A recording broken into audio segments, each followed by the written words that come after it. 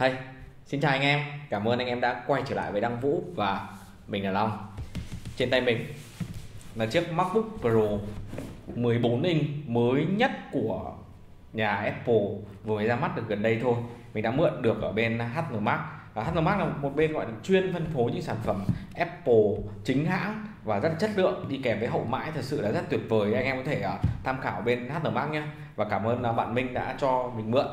Trên tay sản phẩm này à, video này chắc chắn rồi. Mình sẽ không phải là đánh giá à, chi tiết hay là có thể phán xét gì về chiếc máy này mà mình sẽ chỉ đưa đến cho anh em những cái nhận định và những cái cảm quan ban đầu từ ngoại hình từ thiết kế và từ cấu hình và những trải nghiệm nhanh của mình về chiếc máy này thôi. Rồi chúng ta sẽ bắt đầu video ngay bây giờ nhé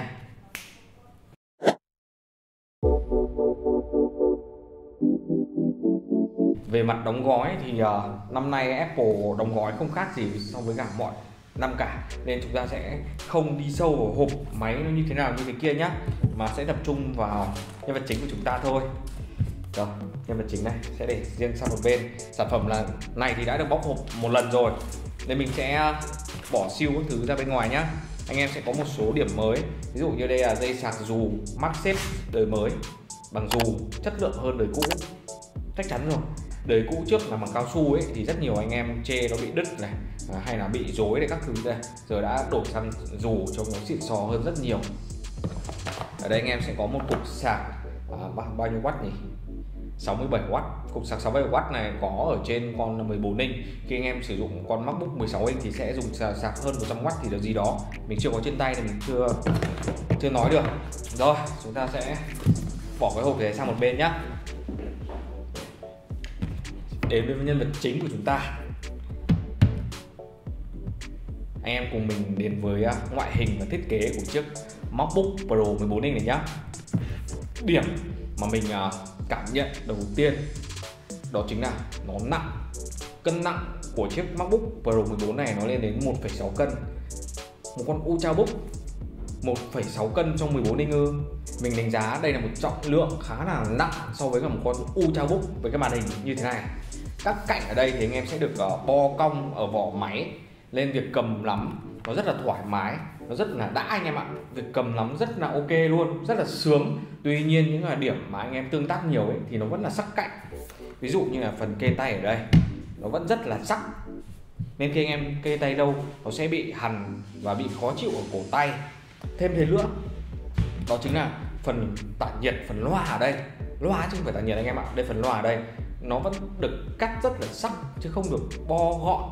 Ờ, nó làm cho cảm giác của mình rất là khó chịu. Đây cũng thế phần tản nhiệt ở hốc đây cũng thế.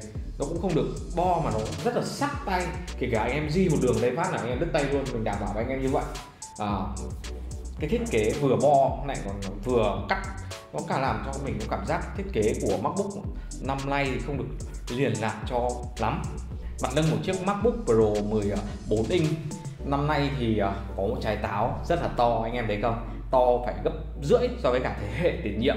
Và xem nào cạnh bên đây trái anh em sẽ có các cổng kết nối đó là cổng à, đây là gọi gì MagSafe tiếp theo hai cổng Thunderbolt 4 à, truyền tải dữ liệu cực kỳ nhanh và có thể gắn ra GPU rời.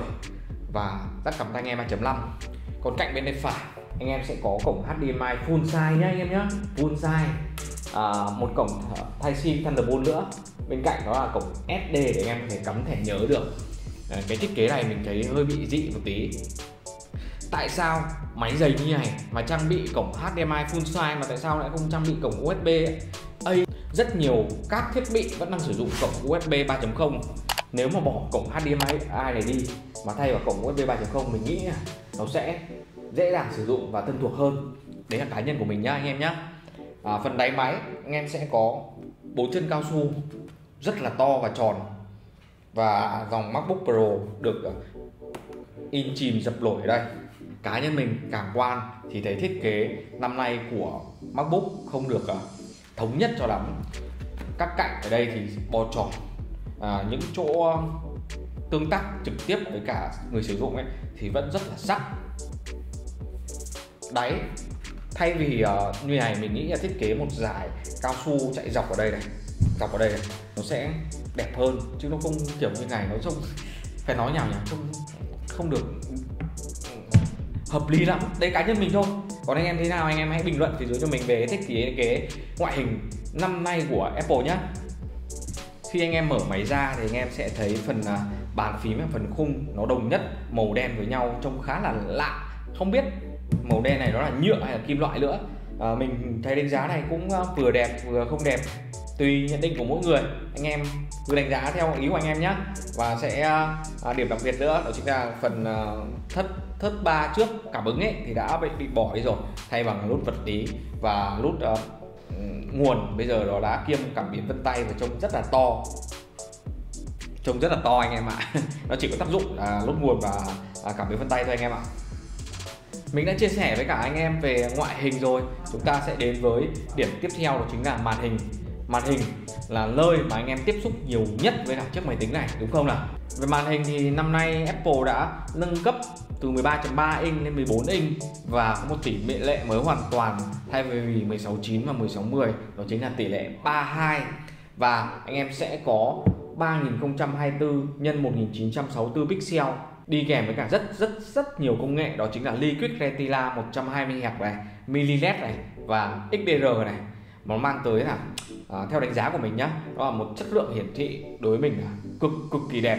Và anh em lại có rất nhiều profile màu sẵn để anh em có thể lựa chọn để anh em có thể tùy chỉnh màu đen ở trên chiếc MacBook 14 inch này thì nó cũng rất là sâu chi tiết màu sắc đều có cảm giác là nó đang nổi trên lên màn hình anh em ạ. Rất là sướng à, 120 Hz cũng giúp cho các thao tác vuốt này kéo hay là di chuột của mình nó được rất là mượt. À, tuy nhiên Mac nó lại không dành cho game nên uh, ờ, hơi phí một tí để các anh em? Điểm tiếp theo đó chính là hiệu năng. Anh em sẽ có hai option đó chính là M1 Max và M1 Pro. Trên tay mình là bản ờ, M1 Pro. Hiệu năng thì có lẽ là không phải bàn rồi. Apple nói rất nhiều trong cái buổi giới thiệu là nó mạnh hơn Win bao nhiêu và nó tiết kiệm điện hơn bao nhiêu. Ờ, mình uh, do mới chỉ có trên tay thôi không có thời gian trải nghiệm lâu nên mình không thể đánh giá à, sự chi tiết về cái hiệu năng của chiếc máy này được. Uh, nhưng mình mình sẽ cố gắng mượn lâu hơn để có thể làm cho anh em một cái video đánh giá chi tiết nhá. À, nhưng mà nói qua như này thì anh em sẽ có hai option chip như vừa nãy là M1 Max và M1 Pro. RAM thì anh em thể option từ 16 cho đến 64 GB RAM.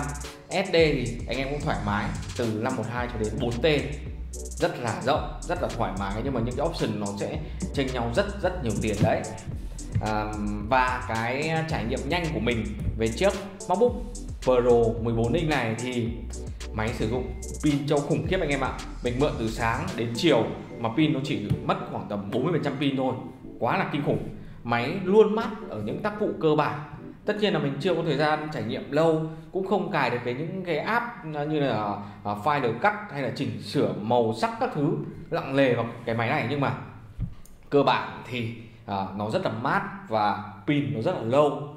Uh, về cái màn hình này thì nó có một phần tay thỏ đối mình nó chỉ làm màu thôi chứ nó không có quá nhiều giá trị. Một khối to đùng ở đây nhưng mà chỉ dành để để camera để cảm biến truy tông chính vì thế mặc dù cái màn hình này đã thay đổi và đã à, rộng hơn trước này tỷ lệ cũng là tỷ lệ 32 này nhưng mà à, nó không quá khác biệt so với cả phiên bản 13 inch trước đó anh em sẽ mất một khoảng của màn hình để để những thông tin và để cái tay thỏ phần hiển thị chỉ có một đoạn. Mình mong thì uh, sắp tới Apple sẽ nâng cấp và sẽ thay đổi phần mềm thuật toán gì đó để cho cái màn hình này nó có thể uh, làm được nhiều việc hơn không gian có thể rộng rãi hơn đúng không? Ok, đó là một số cái à, đánh giá trên tay của mình về chiếc MacBook Pro 14 inch này. Mình sẽ cố gắng mượn lâu hơn để à, dành à, tới anh em một bài đánh giá thật sự chi tiết nhé rồi, còn bây giờ thì xin chào và hẹn gặp lại anh em. Anh em nhớ ấn like và đăng ký để ủng hộ mình, tại vì nó miễn phí mà. Bye bye.